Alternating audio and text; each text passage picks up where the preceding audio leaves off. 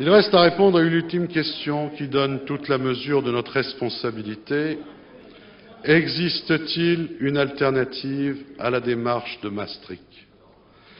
La réponse est claire et nette, bien sûr, et à l'évidence, mais certes, il y faut de la lucidité et du courage. De la lucidité d'abord, de la lucidité d'abord pour comprendre les difficultés que nous vivons. Car ce n'est pas le sentiment de la crise, comme on l'entend dire, qui crée la crise. La crise est une réalité profonde qui s'appelle nouvelle pauvreté, exclusion, ghetto, chômage, désespérance des jeunes, inégalité des chances, insécurité, déculturation, perte de repères, dérive du système éducatif. Il serait vain et dangereux de continuer de répéter que la France se porte bien. Si on ne répond pas au désarroi des Français, ils continueront à se laisser aller vers les extrémismes et vers les intégrismes qui minent déjà le sentiment national. De renoncement en renoncement, nous avons nous-mêmes contribué à détourner le peuple de la chose publique et à ruiner le sens civique. À force de laisser entendre que tout se vaut et que l'action est impuissante face aux contraintes de l'économie et de la technique, nous avons accrédité cette idée dangereuse que la politique ne peut rien changer à rien. Ce qui arrive doit donc arriver et nul n'en est responsable ni coupable. On ne pourrait rien contre la conjoncture internationale, rien contre la concurrence du sud-est asiatique, rien contre les feuilletons américains, rien contre le drame des banlieues, rien contre le programme technique prétendument seul à l'origine du chômage. Bref, tout cela serait inscrit dans la nature des choses. La référence constante à l'exemple des taux d'intérêt pour justifier de tels comportements vaut qu'on s'y arrête à nouveau, car elle n'a pas seulement des conséquences économiques ou sociales, elle contribue à la démoralisation de la nation. Il y a quelque chose de pourri dans un pays où le rentier est plus célébré que l'entrepreneur, où la détention du patrimoine est davantage récompensée que le service rendu à la collectivité. Ce que cache, ce que cache la politique des comptes nationaux, ce que cache l'obsession des équilibres comptables, c'est bien le conservatisme le plus profond, c'est bien le renoncement à effectuer des choix politiques clairs, dont les arbitrages budgétaires ne sont que la traduction. Que penser d'une politique économique qui se contente de guetter la reprise américaine ou la récession outre-Rhin? Que penser d'une politique économique qui se résume à l'indexation de notre monnaie et de nos taux d'intérêt sur le Deutsche Mark et les décisions arrêtées par la Bundesbank au moment où l'Allemagne fait l'objet de critiques convergentes et croissantes au sein du G7 pour la manière dont elle gère les conséquences de la réunification.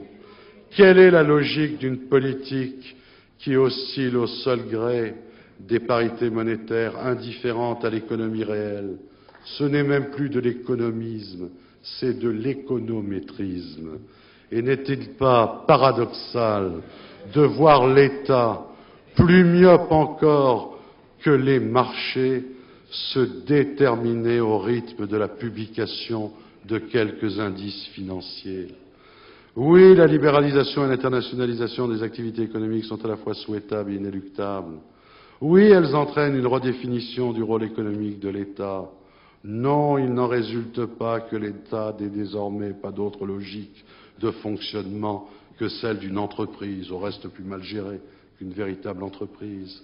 Oui, l'État conserve une fonction d'arbitrage dans le partage de la valeur ajoutée, une fonction de régulation et d'anticipation dont l'efficacité détermine la compétitivité des économies, comme le montrent à l'envie le Japon, l'Allemagne ou les pays d'Asie du Sud-Est. Mais le premier alibi de tous nos renoncements, c'est indubitablement la construction européenne. Nous ne pouvons rien faire, nous dit-on, puisqu'il faut harmoniser, Bruxelles en ayant décidé ainsi. Nous ne pouvons pas réformer la fiscalité, puisqu'il faut soi-disant uniformiser le taux de TVA. Nous ne pouvons pas baisser les taux d'intérêt, puisqu'il nous faut, soi-disant, rester accrochés aux marques en vue de l'union monétaire. Nous ne pouvons rien pour notre industrie, puisque le commissaire à la concurrence y fait obstacle. Nous ne pouvons rien faire pour l'aménagement du territoire, puisque nos marges de manœuvre sont mises à la disposition de la communauté. On voit bien l'avantage politique à transférer sur Bruxelles ou sur les collectivités locales la responsabilité de ce que l'État n'a plus le courage d'assumer, à commencer par l'impôt, dont on veut bien désormais qu'il soit local ou même européen, pourvu qu'il ne soit pas national et qu'il n'en soit pas tenu compte dans les statistiques de la politique fiscale. Mais cette Europe alibi, mais cette Europe alibi est pleine de dangers, car il est vain d'espérer que nos problèmes seront résolus par ce qui n'est au fond qu'une fuite en avant. Il est illusoire de chercher ailleurs qu'en nous-mêmes les réponses à nos difficultés. Il est faux de penser qu'en mettant en commun nos problèmes, nous allons miraculeusement les résoudre mieux, nous tous, Européens de l'Ouest, qui, pris séparément, n'avons eu jusqu'à présent pour leur faire face ni la volonté ni l'imagination nécessaires. Comment peut-on croire que l'intégration apportera une meilleure sécurité à un moindre coût alors que la défense, c'est d'abord la volonté de se défendre, qu'elle permettra d'augmenter les salaires tout en produisant moins, que la libre circulation des chômeurs autorisera la réduction de leur nombre, que les finances publiques seront mieux gérées à onze ou à douze que dans le cadre national. Il s'agit là de paris insensés, d'autant plus insensés que le temps passe sans que personne ne cherche à résoudre des problèmes en voie d'aggravation rapide. Il faut dire qu'à force d'additionner une mauvaise conception de la décentralisation et l'affaiblissement délibéré de l'État, l'idée suivant laquelle la France n'est plus capable de se gouverner finit par acquérir quelques crédits.